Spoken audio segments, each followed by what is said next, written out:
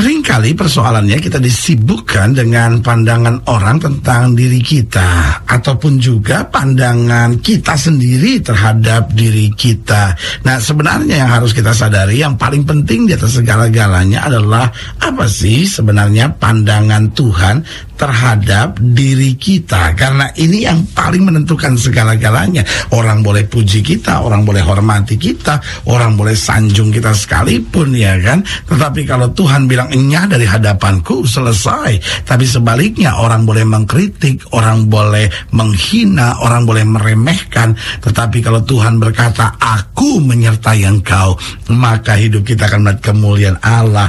Nah, apa pandangan Tuhan tentang kita ini harus kita sadari. Karena Tuhan memandang kita dalam beberapa segi. Yang pertama, apakah kita tulus dan jujur? Saudara yang kasih dalam Tuhan, manusia bisa kita tipu, orang bisa kita bohongi, tetapi Tuhan melihat betul sampai terdalamnya hati kita. Sehingga Tuhan tahu persis apakah kita tulus dan jujur? Karena sudah yang kasih dalam Tuhan ini sangat menentukan. Sudah boleh sukses sudah boleh berhasil sudah boleh melayani Tuhan sudah boleh punya karunia karunia yang dahsyat. Tetapi kalau tidak tulus dan tidak jujur sudah yang kasih dalam Tuhan itu tidak ada artinya apa-apa di hadapan Tuhan. Banyak orang senang melihat segala sesuatunya dari kulit luarnya. Wah orang itu cantik ya. Wah bapak itu hebat ya. Wah kepemimpinannya luar biasa ya. Tapi kalau tanpa ketulusan tanpa kejujur kejujuran. Saudaraku yang kasih dalam Tuhan di hadapan Tuhan tidak ada nilainya sama sekali. Yang kedua yang Tuhan nilai adalah apakah kita setia ya kan? Walaupun kita hebat tetapi kalau kemudian kita dijumpai Tuhan tidak setia saudaraku yang kasih dalam Tuhan selalu saya bilang gini antara pahlawan sama pengkhianat sering kali hanya berbeda pada kesetiaan iya kan? Yang namanya pengkhianat sering kali awalnya juga adalah pahlawan iya kan? Tetapi setengah jalan tidak kuat kuat, akhirnya menjadi mata-mata. Setengah jalan tidak kuat, akhirnya mulai bongkar rahasia dan menjadi pengkhianat. Yudas itu kan juga murid, saudara ya kan. Kalau dia bertahan sampai akhirnya dia disebut pahlawan ya kan. Tetapi apa yang terjadi? Kemudian dia terbujuk, dia tidak setia, dia tinggalkan Tuhan di tengah jalan dan akhirnya dia menjadi pengkhianat, dia menjual Yesus. Saudara yang kasih dalam Tuhan, akhirnya harus kita sadar bukan langkah awal yang menentukan, tetapi langkah akhirnya jangan bangga dengan langkah awal kita dan berkata saya sudah buat ini, saya sudah buat itu. Tetapi kalau di tengah jalan akhirnya kita berkhianat, maka kita adalah seorang pengkhianat. Jadi saudaraku yang kasih dalam Tuhan, yang Tuhan lihat dalam hidup kita yang pertama, apakah kita tulus dan jujur? Yang kedua, apakah kita setia bertahan sampai akhir? Yang ketiga, apa dasar pandangan Tuhan itu? Apakah kita hidup benar dan lurus, ya kan? Nah persoalannya ada banyak orang cuma lihat apakah dia kaya, apakah dia makmur, apakah dia terkenal, apakah dia sukses, apakah dia gagah, apakah dia cantik, apakah dia berpengalaman. Loh, bukan itu yang dilihat oleh Tuhan. Tuhan lihat apakah kita benar, apakah kita lurus. Makanya Alkitab bilang, kalau kita tidak miring ke kiri maupun miring ke kanan, diberkati langkah kita. Kita tidak akan turun tapi naik, tidak menjadi ekor, dipimpin menjadi kepala. Jadi yang pertama yang menjadi dasar pandangan Tuhan dalam diri kita, apakah kita tulus dan jujur. Yang kedua, apakah kita setia. Yang ketiga, apakah kita hidup benar dan lurus di hadapan Tuhan. Dan yang keempat yang terakhir saya pelajari, apa sebetulnya dasar pandangan Tuhan terhadap diri kita. Yang keempat itu apakah hidup kita berkenan kepada Tuhan. Sebab Alkitab dengan tegas berkata, tanpa iman tidak ada seorang pun berkenan kepada Tuhan. Kalau kita tetap mengandalkan kekuatan kita sendiri, kita tetap merasa kita bisa, mampu, hebat, saudara yang kasih dalam Tuhan, kita tidak berkenan kepada Tuhan. Tetapi waktu kita jalani segala sesuatu dengan iman dan hati yang takut akan Tuhan, maka hidup kita berkenan kepada Tuhan dan Alkitab berkata, pada saat aku berkenan, aku akan menyatakan kemuliaanku. Haleluya. Selamat datang dalam program kita hari ini, harinya Tuhan. Sebuah program rohani yang kembali mengingatkan kepada kita betapa pentingnya kita menjadikan firman Tuhan sebagai dasar keseharian hidup kita. Karena selama kita menjadikan firman Tuhan sebagai dasar keseharian hidup kita, langkah-langkah ke depan kita penuh dengan kepastian, kemenangan, berkat, mujizat, dan perkara-perkara yang besar. Haleluya. Dan dalam program ini, kita sedang membahas tentang buaya yang besar. Ah, ini apa ini? Iya kan? Jangan sampai kita kelihatannya benar di hadapan orang, tapi di hadapan Tuhan kita sebetulnya buaya yang besar. Nah ini yang kita mau belajar dari Yeskiel, dari Yeskiel pasal 29, Yeskiel pasal 29, dari ayat yang pertama sampai ayat yang ke-16. Yeskiel 29 ayat pertama sampai ke-16, demikian firman Tuhan. Yeskiel 29 ayat 1 sampai 16 di bawah judul perikop nubuatan melawan Mesir dan Firaun. Pada tahun ke-10 dalam bulan yang ke-10 pada tanggal 12 bulan itu Datanglah firman Tuhan kepadaku, Hai anak manusia, tunjukkanlah mukamu kepada Fir'aun Raja Mesir, dan bernubuatlah melawan dia dan melawan seluruh Mesir.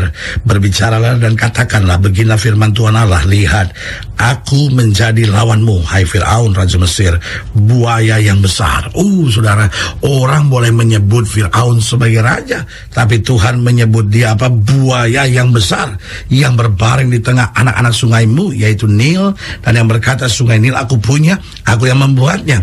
Aku akan mengenakan kelikir pada rahangmu dan membuat ikan dari anak-anak sungaimu berlekatan pada sisikmu.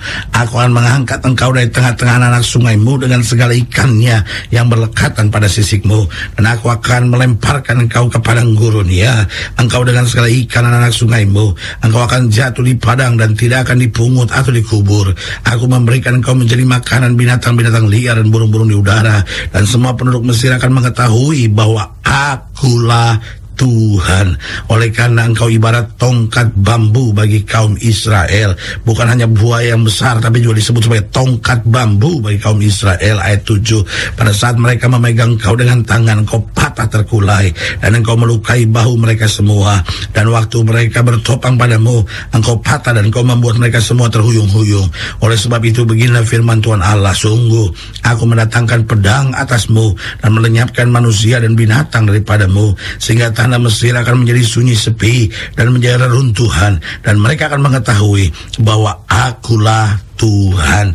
Oleh karena engkau berkata sungai ini aku punya, aku yang membuatnya. Maka sungguh aku menjadi lawanmu dan lawan anak-anak sungaimu. Dan aku akan membuat tanah Mesir menjadi runtuhan dan menjadi sunyi sepi mulai dari Migdol sampai Siene. Bahkan sampai ke perbatasan tanah Ethiopia. Tidak seorang manusia pun akan melintasinya. Bahkan seekor binatang pun tidak. Dan tanah itu tidak akan didiami selama 40 tahun. Aku akan membuat tanah Mesir menjadi sunyi sepi di tengah negeri-negeri negeri yang sudah dimusnahkan dan kota-kotanya akan menjadi sunyi sepi di tengah kota-kota yang diruntuhkan selama 40 tahun. Aku akan menyerahkan orang Mesir di antara bangsa-bangsa dan menghamburkannya ke semua negeri. Sebab begini firman Tuhan Allah, pada akhir ke-40 tahun itu, aku akan mengumpulkan orang-orang Mesir dari tengah-tengah bangsa-bangsa di mana mereka berserak.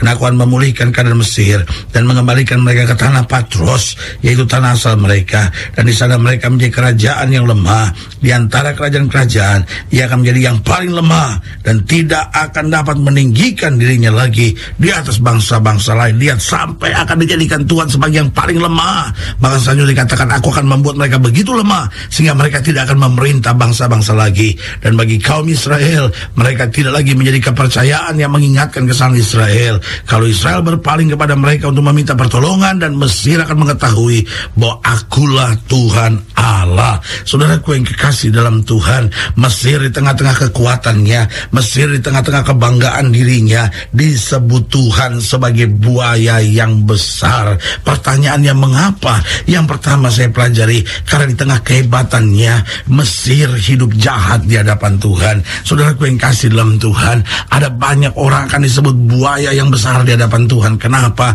Karena ketika dia berhasil, ketika dia sukses dalam segala segi, baik di dalam keuangan, baik di dalam karir, bahkan ada juga yang dalam pelayanan sudah sukses dalam pelayanan, tiba-tiba menjadi jahat, tiba-tiba merasa diri yang paling hebat, tiba-tiba merendahkan orang, tiba-tiba berlaku kasar, tiba-tiba berlaku arogan. Saudaraku yang kasih dalam Tuhan ini jahat di hadapan Tuhan. Karena itu Alkitab berkata pada hari terakhir akan datang banyak orang yang berkata aku sudah bernubuat demi namamu, aku sudah usir setan demi namamu. Tetapi Yesus berkata pada saat itu aku akan berterus terang kepada mereka, Aku tidak pernah kenal kamu. Saudaraku yang kasih dalam Tuhan. Mesir disebut buaya yang besar. Kenapa? Karena di tengah kehebatannya mereka hidup jahat di hadapan Tuhan.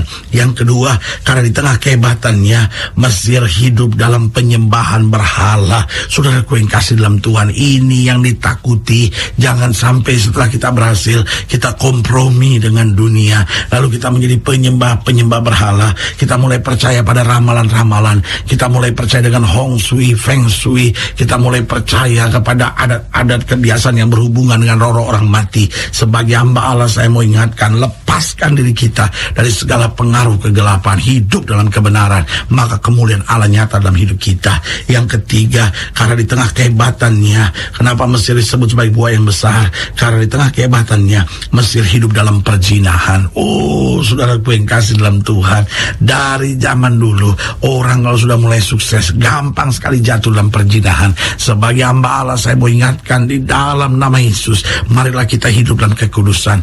Jangan jadi Kristen yang berzina. Anak-anak muda hidup dalam kebenaran. Oh, setiap suami-suami hidup dalam kebenaran. Istri-istri takut akan Tuhan, buang segala roh perjinahan. Maka kita akan melihat kuasa Tuhan luar biasa dalam hidup kita. Dan yang keempat, mengapa Mesir di tengah kehebatan yang disebut Tuhan sebagai buah yang besar? Karena di tengah kehebatannya, Mesir hidup dalam kebencian dan kedendaman. Mereka membenci umat Allah. Mereka hidup dalam kedendaman, kepahitan. Sementara yang Tuhan kehendaki adalah hati yang bersih. Mungkin ada orang yang mengecewakan dan menyakiti hati saudara. Tapi biarlah kita tetap hidup dengan hati yang bersih. Sehingga kasih Allah dapat terpancar dari dalam hidup kita. Haleluya. Saudara yang kekasih dalam Tuhan. Jika sudah ingin dilayani lebih jauh, hubungi kami melalui telepon. Hubungi kami melalui surat. Kunjungi website kami. Karena kami ada untuk membawa Bapak Ibu sudah senantiasa lebih dekat pada Tuhan. Dan mengalami kasih kuasa mujizat yang luar biasa. Haleluya. Secara khusus melalui program ini juga saya mau berdoa buat setiap saya yang sakit, setiap saya yang berbeban berat. Karena saya percaya bahwa bagi Allah tidak ada perkara yang mustahil. Nah, saudara-saudara ingin didoakan secara khusus, boleh taruh tangan kanan sudah di dada dan kita akan berdoa. Mari kita berdoa. Bapak dalam nama Yesus, hamba doa buat yang sakit, hamba doa buat yang berbeban berat, hamba doa untuk setiap mereka sedang menghadapi masa-masa yang sukar, bahkan kami yang mulai jauh dari Tuhan. Oh Bapak lihat mereka yang taruh tangan kanannya di dada, hamba doa di dalam nama Yesus Tuhan Jama, sehingga anugerah kasih berkat Tuhan boleh terpancar, sehingga hidup kami boleh benar, hidup kami boleh tulus, hidup kami boleh senantiasa setia di hadapan Tuhan, berkenan kepada Tuhan, jujur dan menyenangkan hati Tuhan. Di dalam nama Yesus kami berdoa, haleluya. Ah.